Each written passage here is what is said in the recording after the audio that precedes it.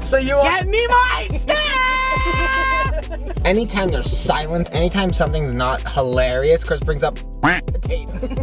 no, I don't. I haven't had my burger yet. So oh. are you expecting snow soon? Get away with it if it's like, man! Literally! We're, we are going to do it! Triscuits and cheese. Stop putting words in my mouth, quoting me. Oh my god. Milk's favorite cookie.